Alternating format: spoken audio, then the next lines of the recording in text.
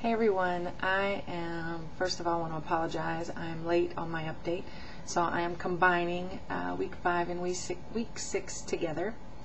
And I'm glad to say, actually, the, the weight loss is slowed, but it's still loss. And I've just adopted Allison's attitude of a loss is a loss. And I know that the scale is just going to keep going down. Um, granted, it may not go down 11 pounds in a week like I would wish but it's going down nonetheless. So uh, week five, I lost four pounds, and this week, which is week six, I lost another three pounds. So it's another seven pounds lost total in the last two weeks, which puts me at, as of this morning, 355. I was 403 at my highest, and that means I've lost um, 48 pounds um, total, and then I was 386 the day of surgery, so I've lost 31 pounds uh, since surgery six weeks ago. So again, I'm real happy.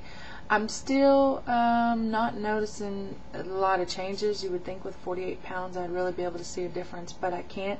Although I can fit into this shirt, which I wasn't able to fit into six weeks ago. So I guess that's progress. And I don't know if you can tell here, but my chest is blood red uh, one of the reasons why I have not been on here to make an update.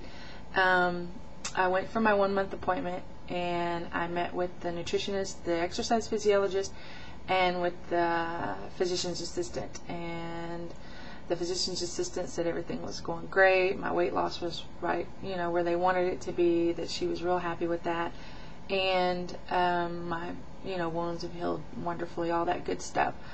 The nutritionist was not as happy with me because of my protein and fluid. Um, and I had to confess to my one bite of mashed potatoes that I took one day and the whole wheat wheat thins that I've learned to love with the Laughing Cow cheese. Um, those are uh, supposed to be a big no-no for me too. I'm not supposed to try and do any of those kind of carbs. I'm supposed to get um, carbs in, but she would prefer me to get the carbs through vegetables and things like that, and not through, um, you know, rice, potatoes, pasta, crackers, those types of things. So I am not doing real well at following strictly along with my doctor's orders. Um, I don't recommend that for everybody. Just for me, right now, I'm just kind of winging it and doing what works for me, and it's working. So. I have noticed my hair is starting to come out a little bit. Um, you know, not by the handfuls, but I am. It is noticeably more when I comb out my hair in the morning. The the extra hair that's left behind. Um, I'm not stressing over it though. Um, I do have to say, energy level, I'm feeling so much better. I don't know. I think it's a combination of things. First of all, I'm eating regular foods now, and I'm um, pretty much doing meat first. Um, and, and, I've not really done a whole lot of anything else but meat, but I have incorporated a little bit of vegetables and trying to have like what feels like a real meal with my family uh, when I can, you know, when they're eating things that I feel like I can eat with them. But I made some uh, meatballs with marinara sauce and some low-fat skim mozzarella cheese, and that was really good. I made a Tara's chicken alfredo recipe and ate that for a couple days, and that was really yummy.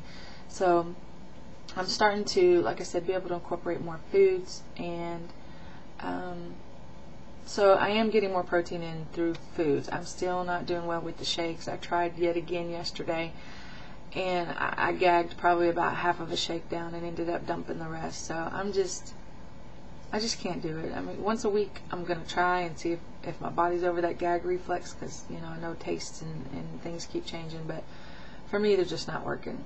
Um, let's see. Oh, I've also, I started on the Bariatric Advantage vitamins. So I don't know if that has also played a part in my energy coming back, but I'm doing the uh, multivitamin, the calcium, the iron, and then the sublingual B12 every day. So I don't know if it's having those extra good vitamins in me as long as the B12 that have helped, but whatever it is, I'm just glad. I hope it stays with me. Um, the energy is much better the exercise physiologist that I met with, you know, said it was time to go ahead and start incorporating exercise.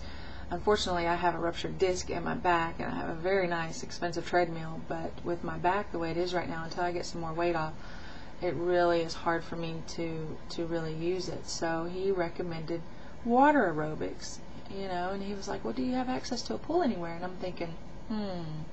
And then it dawned on me, duh, my stepmom has a pool. My kids are in it every day. But I personally have not been in a pool in over five years. And eh, or in a band suit or anything like that. So I'm like, well, it's my stepmom's, you know, it's not like a community pool. So I went and I gave it a try. Hence how I am blistered to a T. I um, was just going to get in, maybe spend 45 minutes to an hour doing some water aerobics. Next thing I know, I um, was in there about four hours, three and a half, four hours, and was burnt to a crisp. I spent, which is why I didn't do my update last week. I could barely stand to sit up, or move. Period. I couldn't stand to have clothes on. I mean, it was bad. It was really, really bad. Um, I stayed slathered in aloe vera and sleeping with a sheet uh, draped across me in my recliner for three days. But I am doing much better now. I'm just peeling like crazy, which is pretty nasty. But anyway, it did feel good to get in that water. And oh, it, it, it just felt so good because, you know, I, my back hurt so bad and I was able to move and do all these exercises. And so I just, I overdid it. But I just want to say thumbs up. I'm doing better. So anybody out there who is newly post-op and going through what I was going through weeks one through four, just feeling drained and miserable, you do get over it. Everybody kept telling me I would get over it, and they were right. I did. I feel much better, and um, I'm going to try and do another video maybe this evening when I get off of work. Um, go into more detail about my one month post-op and some other things that have been going on. I've just been really busy. But I want to thank all my new subscribers out there and say hi. Hi to everybody. And I want to say hey to Tracy and Tom and Lizette and Lynn, want to be Thin Lynn and uh, Jackie, everyone who's just recently had their surgery. I know I've missed a couple, so I'm sorry. I apologize. But uh, congratulations to you all, and welcome to the Losers Bench. And I'll talk to you guys later. Bye.